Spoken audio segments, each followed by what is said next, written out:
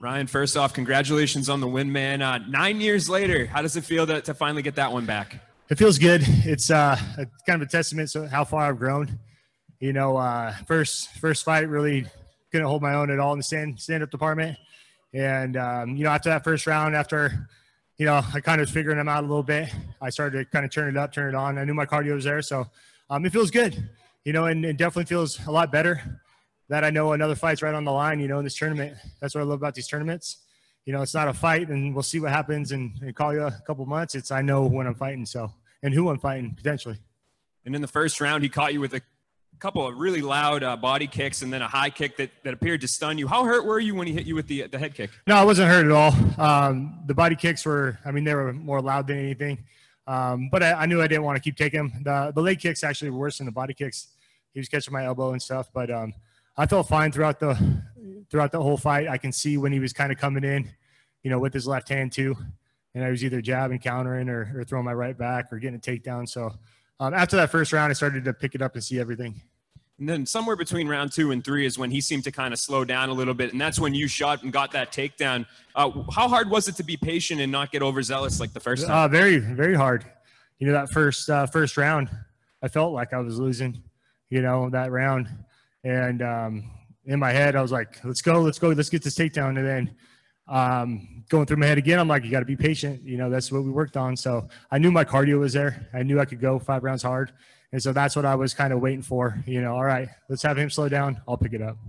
And then, uh, you know, you, you have a matchup coming up here next week. And you talked about this a little bit in the cage, but uh, can you break it down for me a little bit with, with Corey Anderson and uh, who, who you think is going to win that one? Yeah, I don't know much about the Russian dude. Um, I know Corey really well. I trained with him before, you know, um, a couple times when I, I, brought him in when I fought Phil Davis. You know, um, good guy, but it was a long time ago, um, 2015, 2017. So we've both grown since then, and he's been on a tear. He's been looking awesome. He's a grinder. Um, I don't know much about the other guy, you know. So it's one of those things where we'll watch a fight next week, and and if the other guy wins, I'll, I'll jump into him pretty heavy here, um, you know. But if Corey wins, I've seen Corey, Corey a lot, and that's going to be a good fight. Congrats on the win, Ryan. Thank you. Um, now that the fight's over, uh, I'm just wondering if you can talk to me a little bit about the difference in approach, like mentally and physically. Um, for this fight, yes, for, for the first sorry. one. Yeah. Um, I mean, that, that, from our first fight that we fought, Machida and I, yeah, it was so long ago that I mean, we've been through everything. You know, I, have been a world champion, uh, uh, you know, two division champion. Um, I've had losses in that time. You know, it's just I've grown in that nine years tremendously. You know, and uh, um, that's why I wanted this fight. I wanted to, you know, prove to myself, most importantly, you know, how far I've come since that fight. You know, and and I felt comfortable in this fight. You know, that's one of the better stand-up guys. One of the the harder puzzles to figure out. You know. Um, and I knew I could. I just needed it around. Yeah, well, as soon as you took him down to the ground, it seemed like he didn't have much of an answer for that. Is that something that you suspected?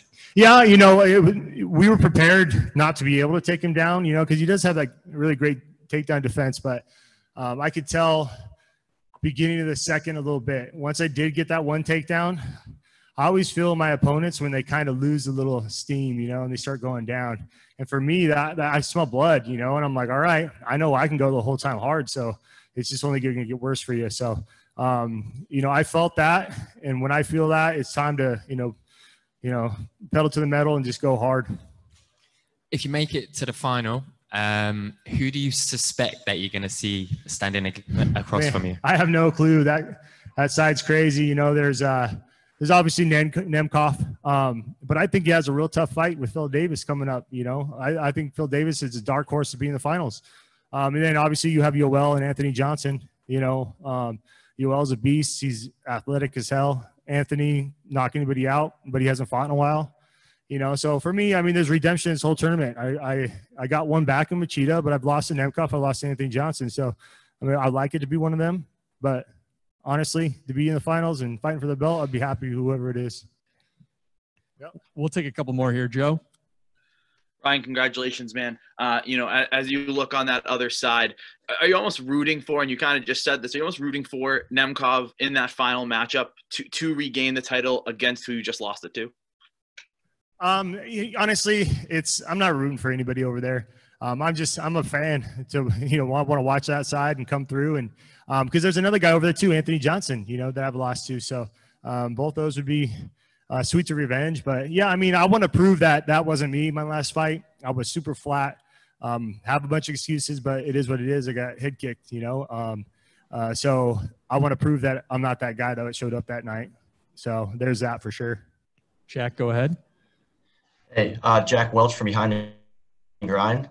Uh, Lyoto was having some, some success in the first round on the feet. Obviously, like you said before, with the body kick, and that was kind of stinging you, but you said it made more noise than it hurt.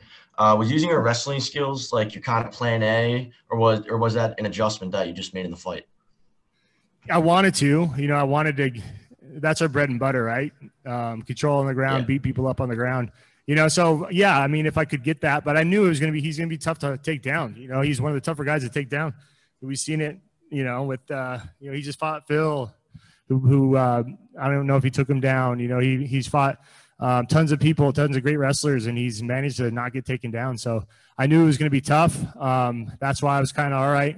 Let's just keep him fighting, keep him going. And then when the time came when I did get that one takedown, I was going to make sure he was tired, make sure he was going to pay when I got that. All right, last one here, Maria.